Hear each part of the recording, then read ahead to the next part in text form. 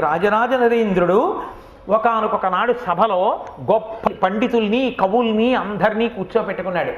కూర్చోపెట్టుకుని వాళ్ళతో మాట్లాడుతున్నాడు. మాట్లాడుతుండగా సంస్కృతంలో ఉన్నటువంటి భారతం గురించి ప్రస్తావన వచ్చింది.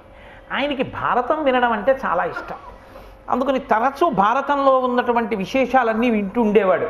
అదే కాదు మిగిలినటువంటి రామాయణాది కావ్యములను కూడా వింటూ ఉండేవాడు. ఆయన ఆ నన్నయ్య గారిని పిలిచాడు. పిలిచి నన్నయ్య గారితో ఒక మాట అన్నాడు.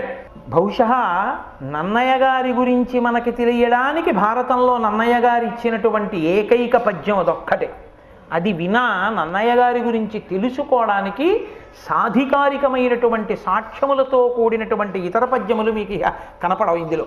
తన కుల బ్రాహ్మణు అనురక్తు అవిరళ జప హోమ తత్పరు విపుల శబ్ద శాసను సంహితాభ్యాసు బ్రహ్మాండాది నానా పురాణ విజ్ఞాన నిరతున్ పాత్రుం ఆపస్తంభసూత్రు ముద్గల గోత్ర జాతు సద్వినుతా సద్వినుతావదాత చరితు లోకజ్ఞు ఉభయ భాషా కావ్యారచనాభిశోభితు సత్ప్రతిభాభియోగ్యు నిత్య సత్యవచను మత్యమరాధిపాచార్యు సుజను నన్నపార్యుచూచి పరమ ధర్మ విధుడు వర చాళుక్యాన్వయాభరణుడిట్టులనియ కరుణతోడా.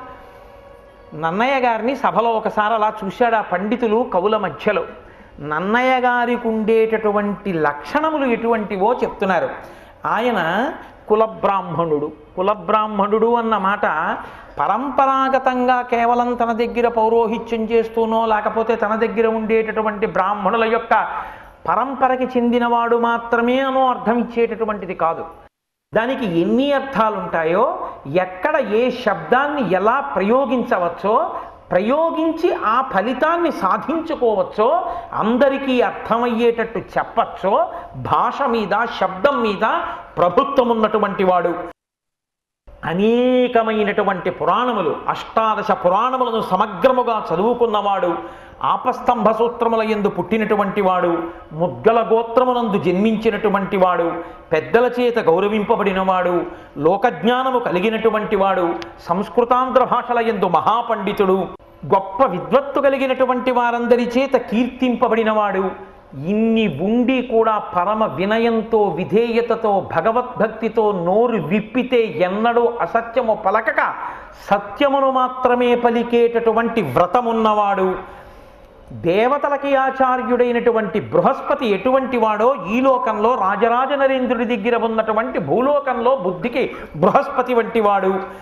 అటువంటి నన్నయాచార్యుని చూసి పిలిచాడు ఆయన పిలిచి ఒక నమస్కారం చేసి మహానుభావ నన్నయ నీ వంటి ప్రాజ్ఞుడు జన్మించాడయా నీ యొక్క గొప్పతనాన్ని మేము వినియోగించుకోవాలి.